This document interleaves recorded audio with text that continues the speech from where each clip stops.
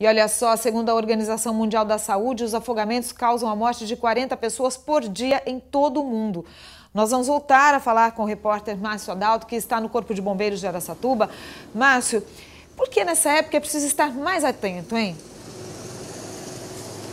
Olha, André, a gente continua aqui trazendo serviço de orientação para a população. É mais comum realmente é, nessa época do ano acontecer afogamentos, justamente por causa das festas de fim de ano, Natal e Ano Novo. As pessoas consomem bebidas alcoólicas em excesso e aí cria-se uma falsa coragem e acabam cometendo essas imprudências. Sobre isso, eu converso agora com o comandante do Bombeiro Militar, Humberto. Eh, comandante, a coragem mistura, no caso aí, com a irresponsabilidade? Exatamente, é um conjunto de fatores, né? Uh, o consumo do álcool ele altera o comportamento, as pessoas ficam mais eufóricas, é, perdem algumas limitações que a, o próprio, a própria mente dá, né?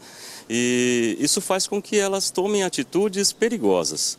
A presença nessa época do ano de familiares ou outras pessoas também estimula a, a pessoa a querer mostrar algo, né? Querer se mostrar. E isso, dependendo do local, é perigoso. E quais são as orientações, então, nesses casos?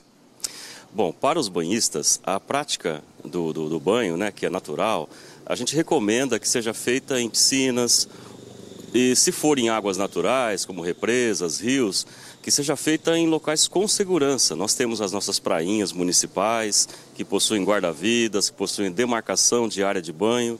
Então nós recomendamos que esses locais sejam utilizados para banho. Tá certo, eu conversei com o comandante do Bombeiro Militar, Humberto Chirotori. Muito obrigado pelas suas informações. Eu volto com você, Andréa.